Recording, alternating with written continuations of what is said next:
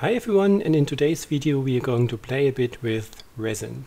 I want to try to make another geode painting and as I did one of them a couple of weeks ago it was time to give it another try just to raise my skill level in making those. just in case you wonder if you hear some heavy breathing in the background and some metal noises, this is Patrick doing some sports. Um, actually he's weightlifting and push-ups and stuff today so just in case you wonder. What you cannot see here in the video, before I started recording I taped the edges and this again is duct tape or T-Rex tape or fiber tape, whatever you call it in your area. This is actually a very strong kind of tape with texture fibers in it. It is really strong and sticks almost to everything, but not to the resin once it's cured, which is really cool. So you can block it from flowing around and it's very cheap and easy to do actually. So the surface that I'm working on is a 1 centimeter thick MDF board cut into 40 by 40 centimeter of size, which is a fairly large and a nice size to work with. So once the edges were typed, I decided to paint the background. I learned in my last attempt that it is easier having a darker background.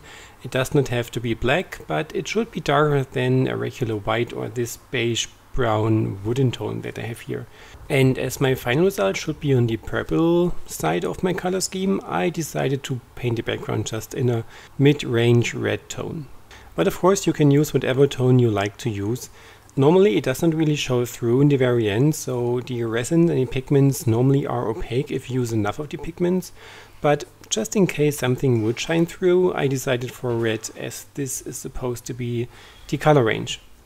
If you're going to make somewhat greenish color range and decide for a black background and you don't have enough pigments there, you might see the black through it some area or darken your greens too much. So I, I don't know, I would just recommend using a somewhat close color to the background that you want to pour, just an idea. So once this was done and everything was dried, which went fairly quickly, I decided for my design. I again used my glass nuggets as you have seen me using them before. I do have those in a couple of different sizes and colors, so I just ordered some in different kinds of colors, which makes it easier in the end if I plan to do more of those. And I guess I will do more of those. so I decided for the white ones, which is actually not really white, it's clear glass. But as the edges are broken, they seem to be a bit matte. Then I added some red ones, and in the middle this is just some black painted stones. I ordered them like they are, so I did not really paint them, but they look really cool and they do not change their color if the resin goes over them. If you pour the resin over the glass nuggets, all these matte edges are going to become crystal clear in the end. So actually when you pour something colorful over the clear glass nuggets, they will more or less take the color that you pour over them. The resin is going to flow underneath and in between the gaps of these uh, nuggets, but as they are clear, they will take up the color that you are pouring over them. And the good thing, if you put everything down in the first place, you can actually really decide if you like the design that you planned out or if it does not look as pleasing once you have it in front of you. So I went rearranging it every now and then until I had a feeling that, well, this might be the design that I like in the very end. So this of course is totally up to you when you give it a try yourself. When all the basics were done, I had to make a decision which resin I'm going to use. And this time I opted for my art resin. It is the more expensive resin and I'm totally aware of that, but I wanted to give it a try as my first attempt a couple weeks back I used my cheaper resin. It worked pretty cool. I really like the result, but this stuff is really thin and the art resin compared to it is really thicker and I thought it might be easier to get straight lines when it comes to the geode painting. So I mixed up my resin. I used a couple of pigments and metallic paints and my resin paste, which is the white actually, which is really opaque and cool. And then I thought about if I should pour it right onto it or if I should wait until the resin cures a bit and gets even thicker but I honestly I was not sure if I should do so. So I decided to pour everything on there. It is a quite thin layer though, but you can see in this better version it is still flooring to an edge.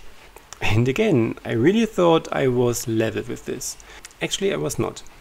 So everything was flowing to the upper edge again and I did not really notice once I was working on it because as the resin is thicker, it flew quite slowly, but it did. And the colors were intermixing way more than I expected and I wanted to. So I seem to be not really successful with this one. As there was not so much that I could do at this point, so you, there's no way you can stop the resin from intermixing and flowing and keeping it separated. No, no way, I've tried it. So I just decided to let it sit, let it cure until it's, yeah, cured. and give it another try in the second layer on the next day. I mixed the same colors and I really tried to make everything as level as I could this time so I elevated the backside a bit just to have everything stay more stable in the middle. I used even less resin for each layer that even less can flow around but still things were flowing more than I hoped to. I guess it's really important to be patient which is something I struggle with all the time and wait until the resin really settles a bit and gets thicker from its own so perhaps at the end of the working time that you have available with the resin. The art resin has about 30 minutes, 30 to 35 to, to work with until it starts curing, so I probably should wait until the end of this time span. I will keep investigating. so I put it aside until the next day and when everything was cured and final result was done, I added the lines with the Posca markers. The downside though, when I first get my first package of them, I ordered the wrong size. So I really have these fine liner type, really thin, yeah, pens, which really do not make such big lines. So I had to really actually draw these lines. I will have to order them on a bigger size next time so that I can just use one pencil stroke and I have the line that I want in the thickness that I need. And this is the end result. I'm going to show you a video and some photos in the very end.